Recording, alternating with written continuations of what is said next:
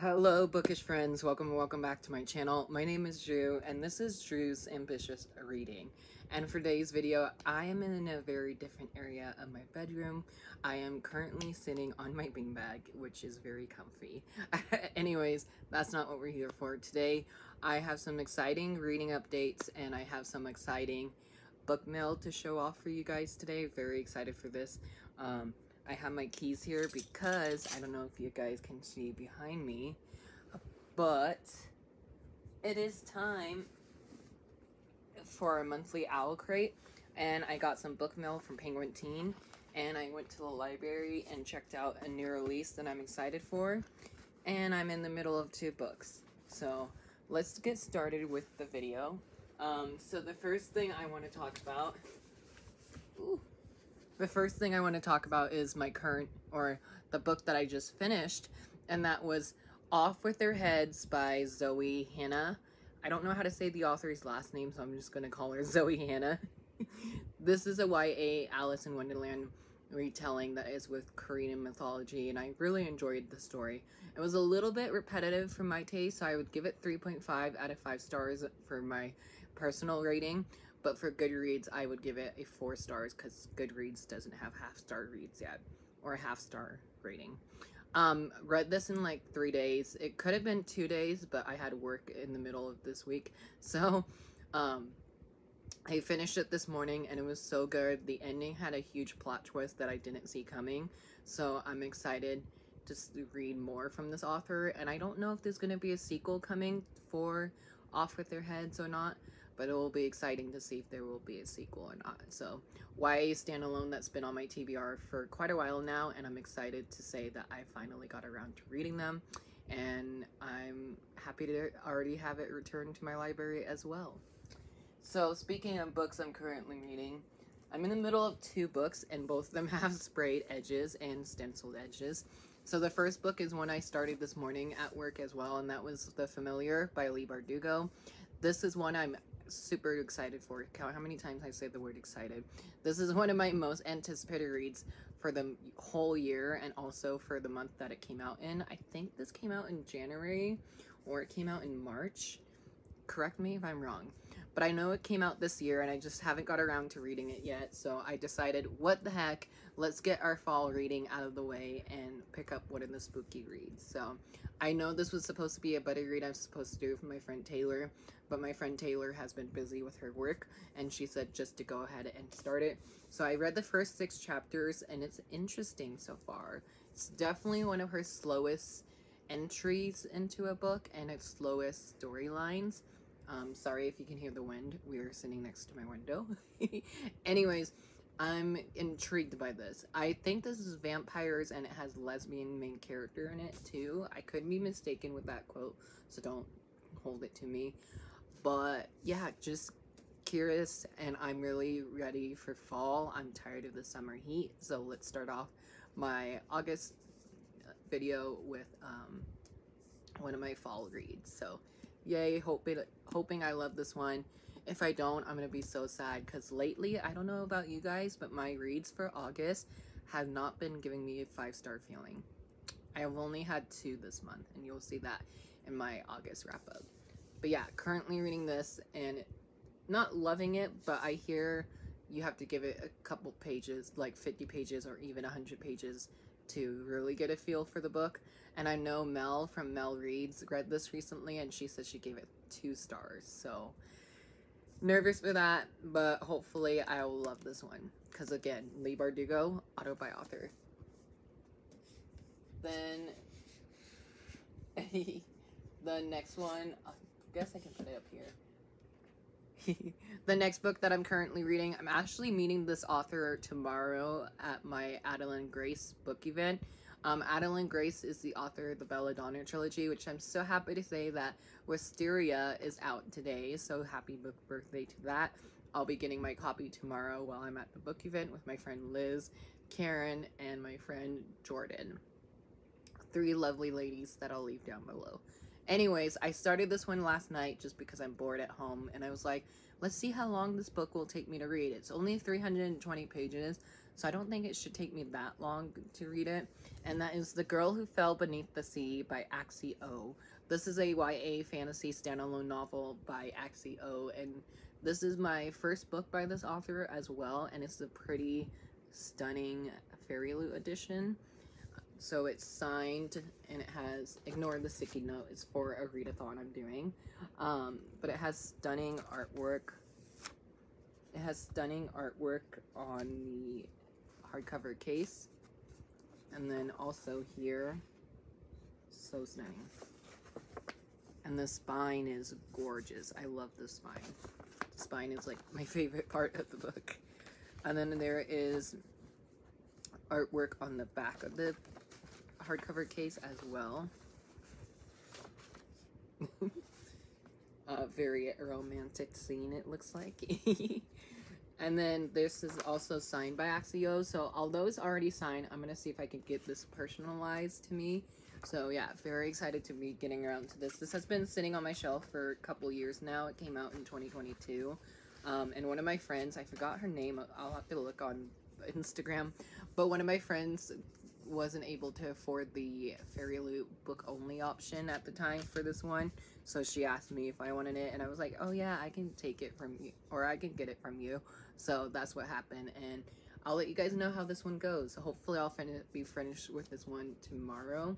If not, definitely on Thursday. But I will be super cool to finish this tomorrow before the book event. I am off tomorrow, so maybe I will. And then on to my library haul, I have another book with stunning stencil edges. This one, if you can't tell, is um, The Wren in the Holly Library by K.A. Linde, I think is the author's last name. I'm so sorry for butchering it. This is a adult fantasy standalone first book of a series. I know this is from Red Tower Books, so I'm not too sure. Um, how long the series will be or if this is a standalone. The reason why I got this for my library is A, super hype, B, super pretty, and C, my friend Clint over at Reads Readers here on BookTube, he's having a book club called Fictional Falls Book Club coming this fall, and they're starting in the in the month of September. And in the month of September, their book club pick for the month is the Wren in the Holly Library, so I'm very excited to join them for this. And my copy is due September 10th, so I might read this a bit early. That way I can return this to my library. But still, super shocked that I have this pretty book from my library because of how popular it is. So definitely going to be super careful with this one um, just because I don't want it to get damaged. But I'm thinking I'm reading this one either this weekend or maybe even next weekend. Alrighty, let's jump into my book mail. Um, this is from Penguin Teen. I don't know if you can see the front of that, but that says The Other World, The Otherwhere Post by em Emily J. Taylor, which I'm so excited because this is a uh, physical art that doesn't come out till um, 2025. Yeah, you heard me. 2025. Oh no! Can I open this? Hold on a sec. okay, I got it open. that was so hard to open. It had like the super like heavy duty tape. Anyways, this is the Otherwhere post by Emily J. Taylor. It says, Open me for a glittery mystery, dangerous magic, and a forbidden romance. On sale February 25th, 2025. I believe this is like one of my first um, physical arcs for 2025, so that's very exciting. Ooh! I didn't know that was coming. Oh my goodness. Okay, that was so cool to see. Um, so here's the beautiful arc copy of The Otherwhere Post by Emily J. Taylor. Um, this is the same author who wrote Hotel Magnifique, which I read the year it came out and absolutely loved it. Um, it says seven years ago, Maven Abanese lost everything. Today she received an enchanted letter with four impossible words. Your father was innocent. To uncover the truth, she must pose as an apprentice for the Otherwhere post and master the dangerous magic of scriptmancy. I'm so sorry for butchering words. But the truth has a price, and that price might just be her life.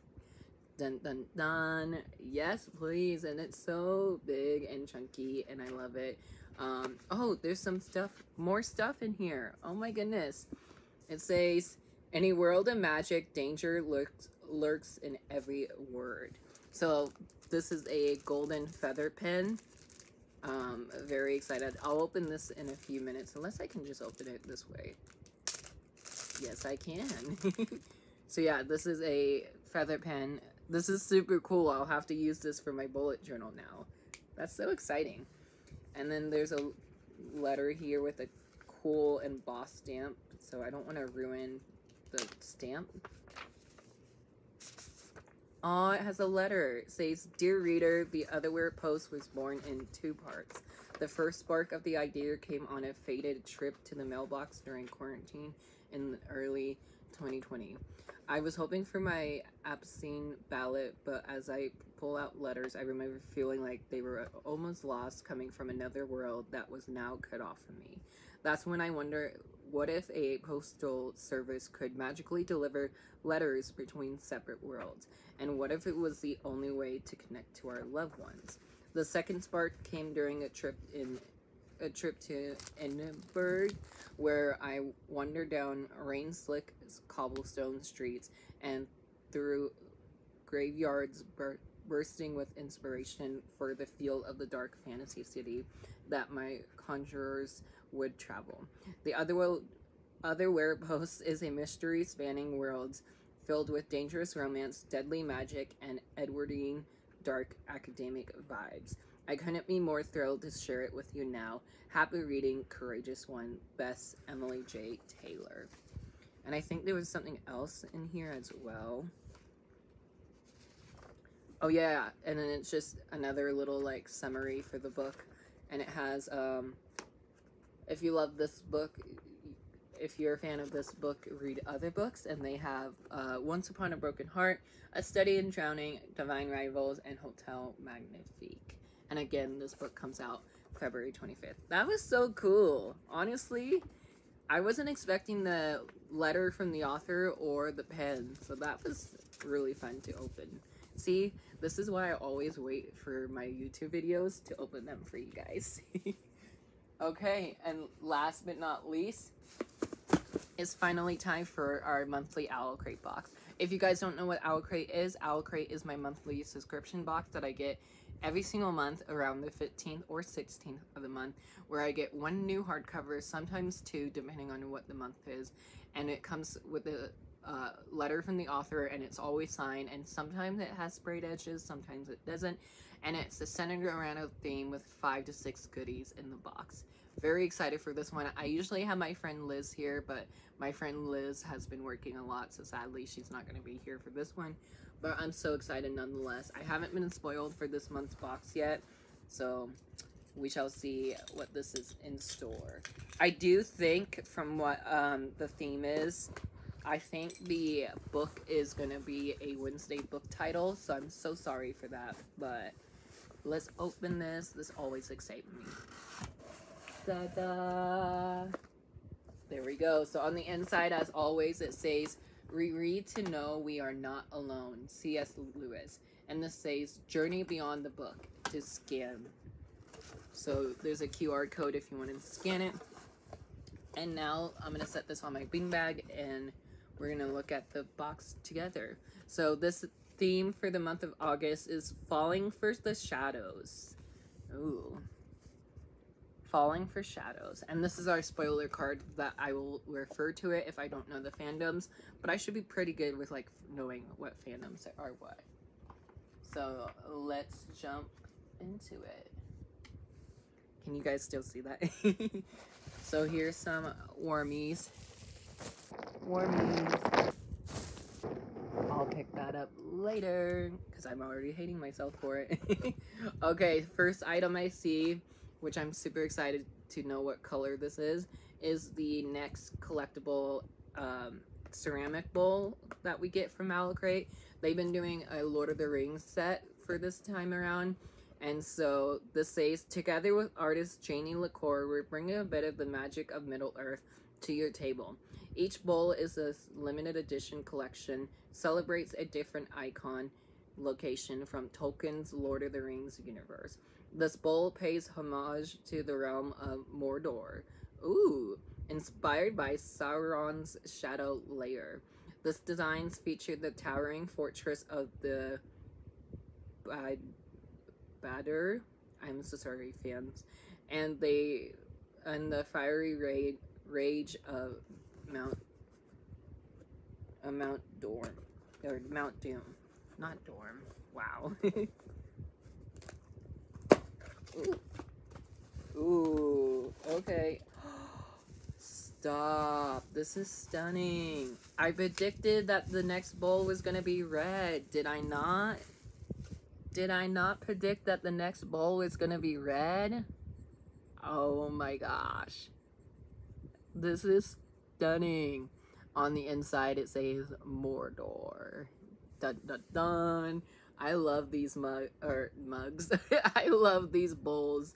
Um, I don't use them for anything. I just love stacking them up on my desk. So another one to add to the collection. How cool. Okay, next item we have is our monthly pen. This is number 8 out of 12, obviously, because it's August. Can you guys see it? Ooh, what is it? Ooh, it's very gold.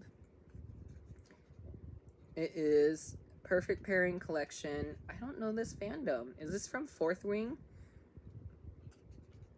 Ooh, but it's very pretty.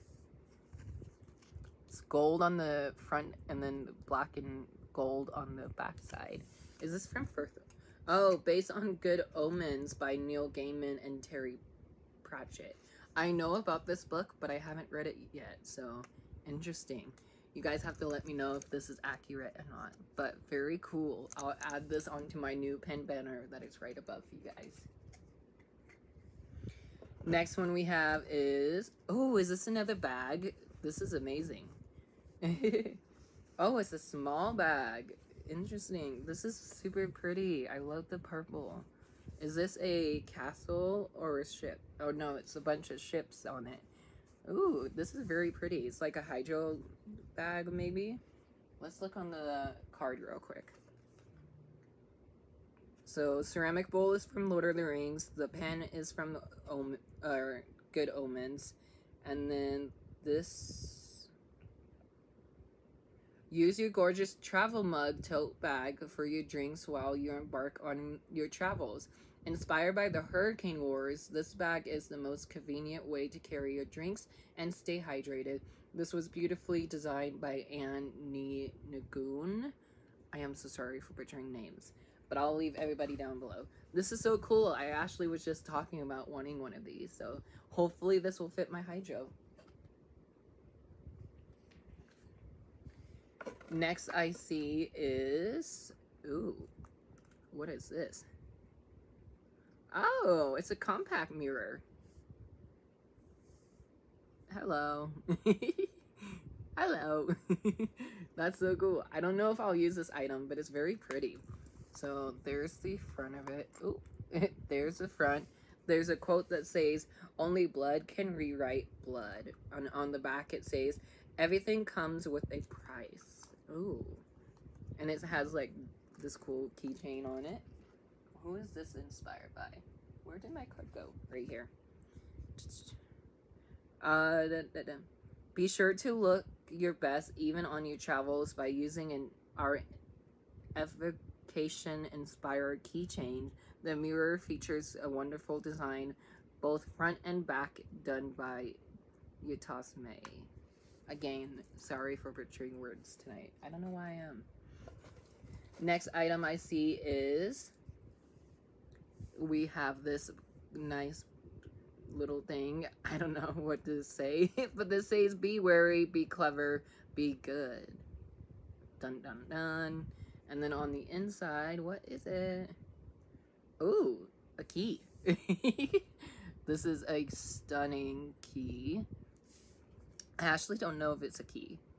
Um, speaking of drinks, our key bottle opener. Ah, makes sense. Our key bottle opener is a perfect item to open all your bottled beverages. This item designed by Azua Arts and it's inspired by One Dark Window. I really love that duology, so that's really exciting. Very cool. Ooh, don't break. Very, very cool. So now I see is the book of the month. Let's me dump everything out real quick. Yeah, all I see left is book of, is our book of the month and our monthly pamphlet. I'm really gonna hate all these fuzzies. so our book of the month, I don't know if you can tell because of my ring light, is Castle of the Curse by Romina Garber. Again, I am so sorry for butchering words tonight. This is uh no is this English? I don't know what this quote say. Oh my gosh. Can you guys read that for me? No Hay wins Oscar? I don't know.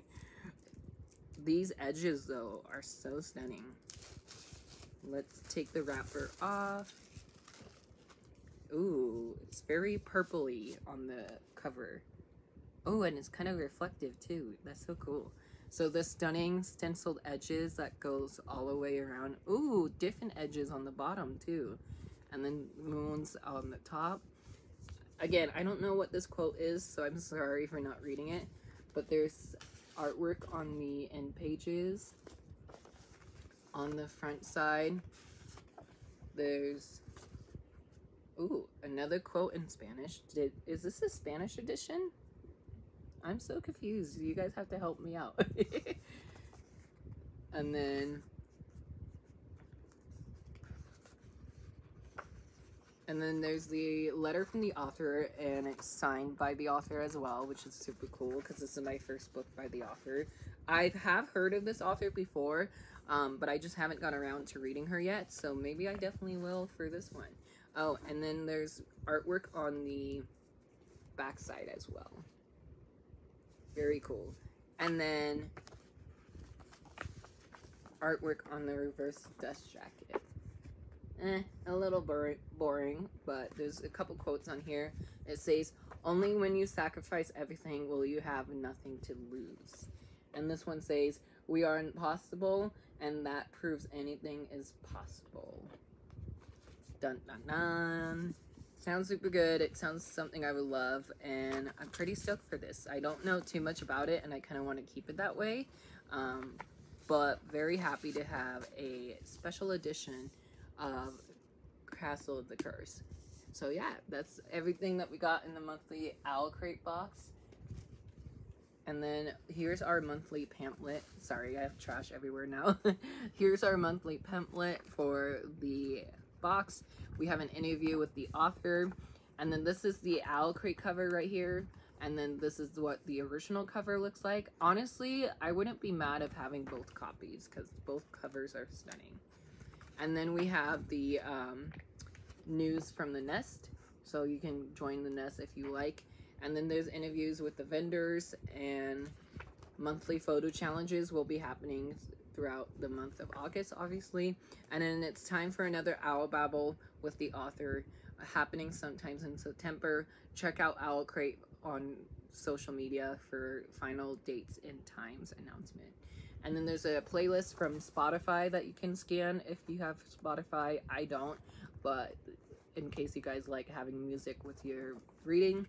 There's other new releases that Owl Crate is excited for this month, and that is The Dark We Know, The Girl with No Reflection, The Dagger and the Flame, Something Kindred, and Practical Rules for Curse Witches. None of these I heard of, so that's pretty cool to put on my radar. And the theme for September would be I'll Remember You. Every September box will include an exclusive candle. Hey, I just was wanting a candle. Um, will include an exclusive candle handmade by Flick the Wick. So very excited. So yeah, that is everything I have to show you guys for tonight. Thank you guys so much for watching this little sit down chill video. Let me know if you love the shelves this way and I'll talk to you guys later. Hope you all have a great day or night or not. The choice is yours and happy reading. Don't forget to hit the like button, hit the subscribe button, turn your notification on so you don't miss any new videos coming from me soon. And once again, I'll talk to you down below. Bye!